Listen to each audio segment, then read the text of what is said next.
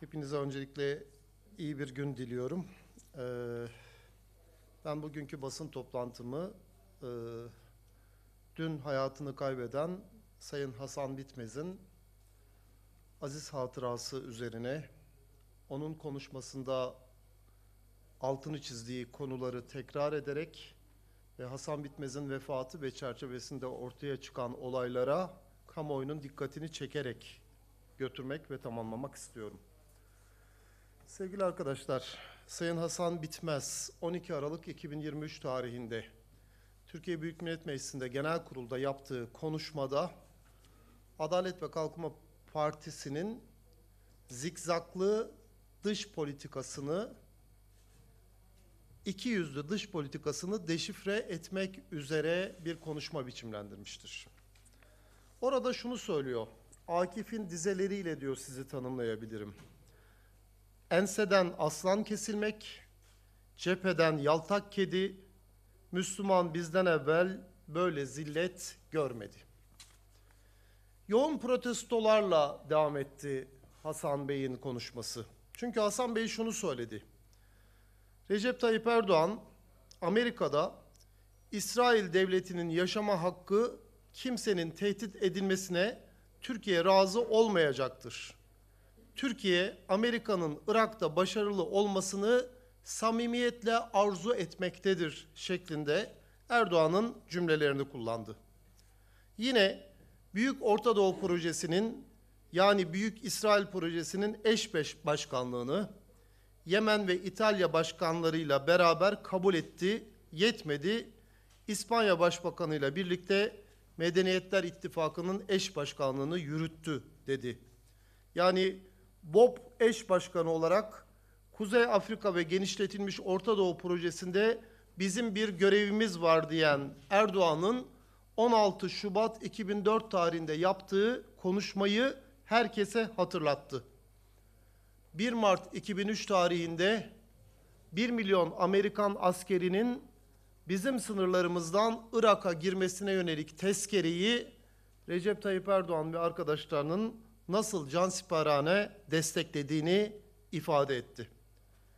Libya'da AKP'nin desteğiyle NATO müdahalesiyle bir istikrarsızlaştırma yaşandığını belirttikten sonra Kaddafi'nin öldürülmesine ve Libya petrollerinin nasıl kapışılmasına yönelik kamuoyuna gerekli bilgileri sundu. Ve nihayet Mavi Marmara meselesinde İsrail'le anlaşma yaparak Filistin davasına ihanet ettiniz dedi. Bu anlaşmadan önce diyordunuz ki özür dilenmesi lazım, tazminat ödenmesi lazım, Gazze'den ambargonun kalkması lazım. Peki ne yaptınız? Hiçbiri olmadı. 20 milyon yani o da bir tazminat değil, ex gratia yani bir lütuftur. Bunun karşılığında tüm haklardan vazgeçtiniz ve üstelik de İstanbul Ağır Ceza Mahkemesi'nde e, yargılanan İsrail Genelkurmay Başkanı ve dört sanık bu anlaşma çerçevesinde takipsizlik kararı ile yargılamadan kurtuldu diyor. Yani bu konuşmaları bitirdikten sonra diyor ki İsrail sizin eylemsizliğinizden ve tavırsızlığınızdan cesaret alıyor. Evet diyor miting yaptınız ama bu sizin mitinginizi bunlardan daha iyisini Avrupa'da, Amerika'da, Londra'da, Tokyo'da oradaki Hristiyanlar, Yahudiler yapıyorlar diyor. Yani iktidarın miting yapmaktan başka bir şeyi yok mu diyor. Ve konuşmasını şöyle tamamlıyor. Onlar sanıyorlar ki bizden kurtulsalar mesele kalmayacak. Halbuki bizden kurtulsanız vicdan azabından kurtulmayacaksınız. Şimdi sevgili arkadaşlar, bir milletvekili açısından kürsü dokunulmazlığı son derece önemlidir. Bu bir milletvekilinin kişisel hakkı değil, Türkiye'de demokrasinin ve ifade özgürlüğünün de en temel gerekçesidir. Diğer taraftan dünyada tüm parlamentolarda olduğu gibi Türkiye'de de bir milletvekili konuşurken aynı fikirde olmayanların söz atmaları, protesto etmeleri de son derece olağandır. Bunu biz de yapıyoruz.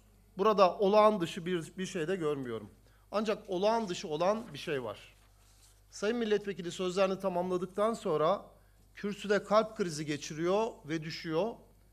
bunun üzerinde Allah'ın gazabı böyle olur işte. Allah'ın gazabı böyle olur diye AKP sıralarından sesler geliyor. Şimdi ben soruyorum.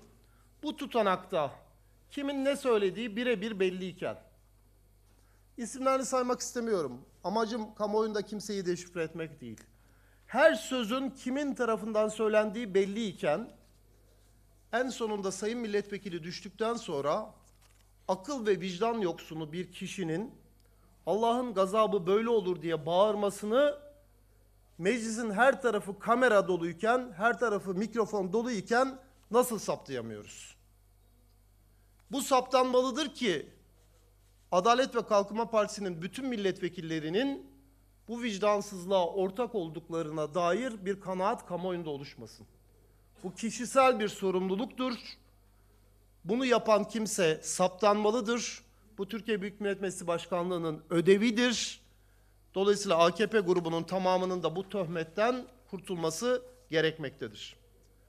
Diğer taraftan sevgili arkadaşlar, biz Anadolu insanıyız ve bizim Anadolu'muzda güzel adetlerimiz var, geleneklerimiz var.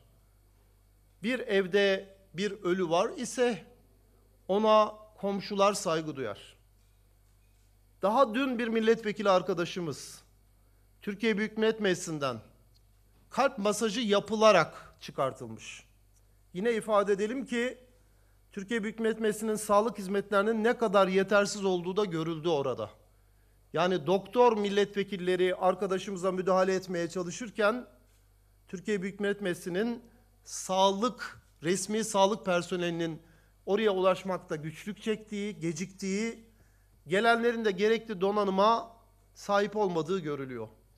Bu eleştiri yalnızca rahmetli Hasan Bitmez'in ardından yapılan bir eleştiri değildir.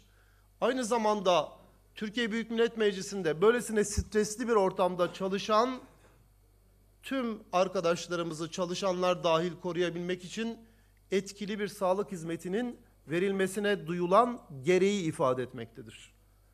Ve kürsünün hemen arkasında üç basamak var. Evet bir yükselti var. O yükseltiden aşağıya doğru basamakla iniyorsunuz. Bembeyaz bir mermer. Beyaz renk tasarımcılar bilir ki görülmesi en zor olan renktir. Bir kere oranın kaymaz bantlarla geçilmesi lazım ve elbette oranın herhangi bir düşme ve kafa çarpması sonrasında ölüme yaralanmaya sebep olmayacak şekilde soft malzemelerle, yumuşak malzemelerle donatılması gerekir. Demek ki Türkiye Büyük Millet Meclisi'nin tasarımında da ciddi sorunlar var bu görülüyor. Şimdi gelelim sözlerimize. Bir arkadaşımız gözümüzün önünde kürsüde düşmüş, hayati fonksiyonları ortadan kalkmış, milletvekili arkadaşlarımız kalp masajı yaparak onu hayata döndürmeye çalışıyorlar. Çok ağır bir şekilde hastaneye sevk edilmiş. Hastanede çeşitli ünitelere bağlanarak yaşama tutunması sağlanmış. Oysa Türkiye Büyük Millet Meclisi hiçbir şey olmamış gibi faaliyetlerine devam ediyor. Bu bizim vicdanımızın kabul edebileceği bir şey değildir. Hangi milletvekili arkadaşımız böylesine bir ağır travma ile karşılaşırsa, ölüm tehlikesiyle karşılaşırsa meclisin buna yönelik bir program kaydına, program değişikliğine ihtiyacı vardır. Peki arkadaşlar, eş zamanlı olarak arkadaşımız can çekişirken meclisin bahçesinde kebap yapmak ne demektir? Bunun Anadolu kültürüyle, Türk insanlığın kültürüyle açıklanabilecek herhangi bir tarafı var mıdır? Önce hastalanan ve hayatını kaybeden arkadaşımızın anısına herkesin saygı duyması gerekiyor. Ama ondan da öte diyelim ki böyle bir olay yok. Türkiye Büyük Millet Meclisi ciğer yapma, kebap yapma, onun da dumanlarını, kokularını meclisin odalarına sevk etme yeri herhalde değildir. Ben e, Türkiye'nin ortalama kırmızı et tüketiminin 7 kilogramın altına düşmüşken milyonlarca insanımız yılda yalnızca Kurban Bayramı'nda kırmızı et tüketebilirken meclisin baş, bahçesinde büyük bir görgüsüzlükle kebap partileri düzenlenmesinin kamuoyu vicdanını kanattığını düşünüyorum ve bir milletvekili olarak da bundan utanç duyduğumu ifade etmek istiyorum. Bugün sevgili Hasan Bitmez kardeşimizin, arkadaşımızın, meslektaşımızın arkasından yas tutuyoruz. Söyledikleri sözler bizim sözlerimizdir. AKP'nin dış politikadaki iki yüzlülüğünü deşifre etmeye inançla ve kararlılıkla ve elbette ahlakla Türkiye Büyük Millet Meclisi'nde muhalefet görevimizi en etkin bir şekilde yapmaya devam edeceğimizi kamuoyunun bilgisine sunarız. Çok teşekkür ediyorum. Buyurunuz. Efendim biliyorsunuz aynı zamanda da e, farklı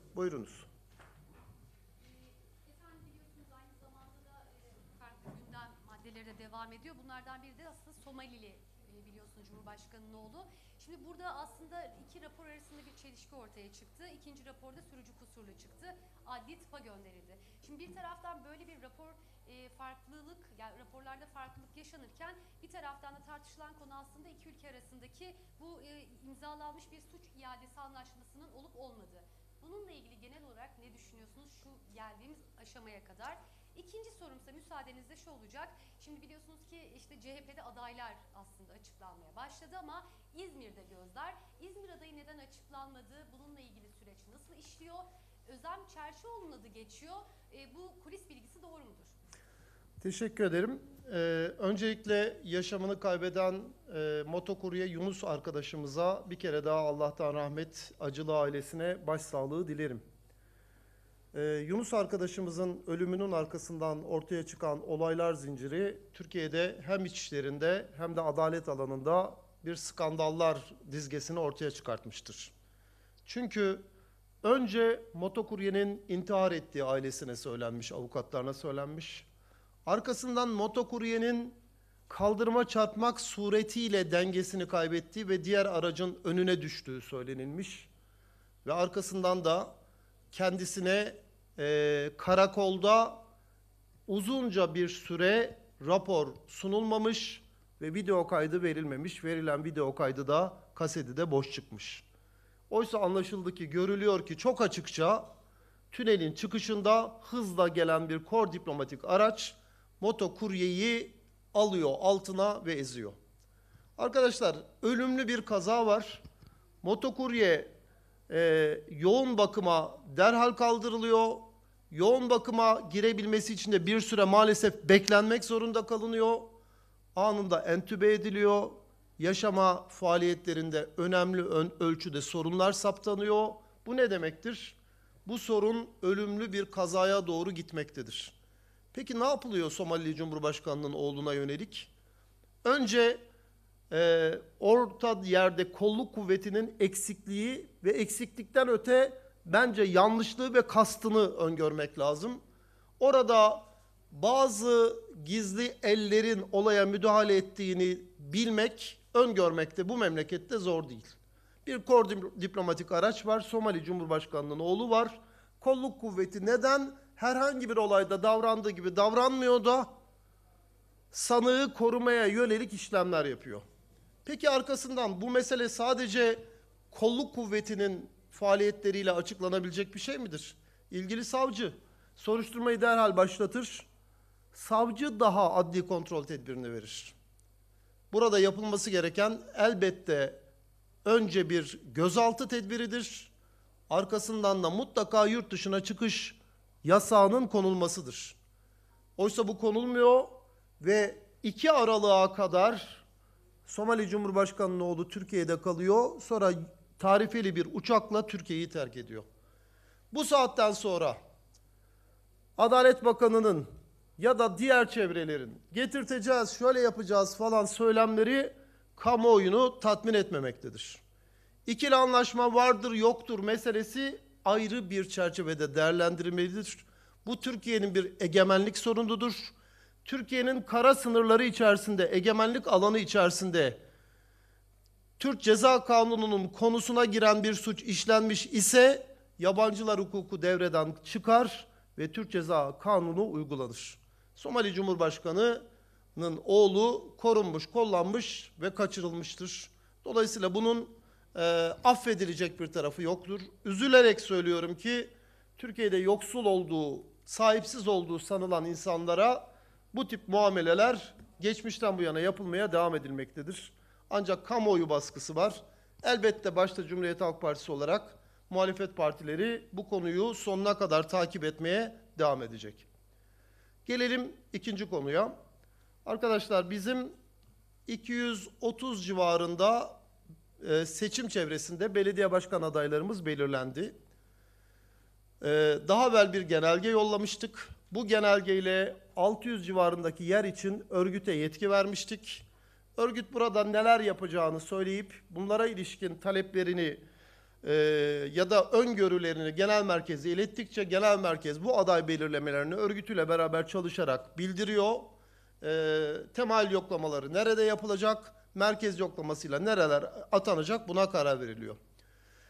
E, Büyükşehir Belediye Başkanlarımıza gelince e, biliyorsunuz İstanbul ve Ankara Büyükşehir Belediye Başkanlarımız e, 7. Genel Başkanımız Sayın Kemal Kılıçdaroğlu zamanında e, zaten ilan edilmişlerdi.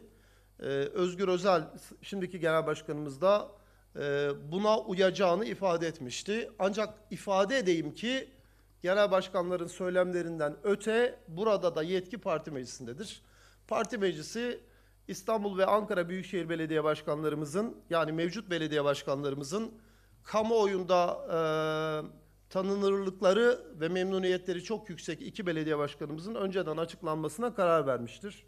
Diğer taraftan geçtiğimiz dönemde Bursa'yı az bir farkla kaybeden ve kamuoyu yoklamalarında bu kez rahatlıkla alacağı görülen e, Bursa Büyükşehir Belediye Başkanımız yine geçen dönemde e, partimiz tarafından ilan edildikten sonra ittifak görüşmeleri çerçevesinde geri çe- çe- çekilen e, Balıkesir Büyükşehir Belediye Başkanımızı da e, ilan ettik. Ben e, böylece Bursa ve Balıkesir'in de Cumhuriyet Halk Partili belediye başkanlarıyla yönetilmesi yolunda önemli bir adım atıldığını düşünüyorum. Onun dışında 11 Büyükşehir Belediye Başkanımızdan 9'unun e, ilanı e, geride kalmıştır. E, Cumhuriyet Halk Partisi her hafta e, basın toplantıları ve parti meclisi toplantıları yapmaktadır. E, hem yapacağı yöntemi kamuoyuyla paylaşmakta hem de PM'den kararları çıkartmaktadır. Önümüzdeki haftada da hem geriye kalan 9 büyükşehir belediyemizi hem de Bursa ve Balıkesir gibi bizde olmamakla beraber adaylaştırma sürecini tamamladığımız e, belediye başkanlarımızı açıklayacağız. E, efendim e, gazetecilik adı altında e, dedikodu, dedikodu haberciliği yapmayı marifet sayan bir grubun e, epeydir faaliyette olduğunu görüyoruz. Öyle inandırıcı ve öyle detaylı açıklamalar yapıyorlar ki bazen benim de inanasım geliyor açıkçası. Ee, İzmir'e yapılan çok sayıda yakıştırmalar var. Onu oradan öbür tarafa, bunu buradan öbür tarafa alıyorlar. Ee, bir kere daha söyleyeyim ki bu bilgilerin hiçbirisi bende yok. Çünkü bunlar hem MYK'da hem parti meclisinde e, tartışılarak ve ortak akılla alınan kararlardır. Belediye başkanlarımızın bir yerden bir yere tayin edilme durumu da söz konusu değildir. Başka bir soru olmadığını görüyorum. Teşekkür ederim arkadaşlar.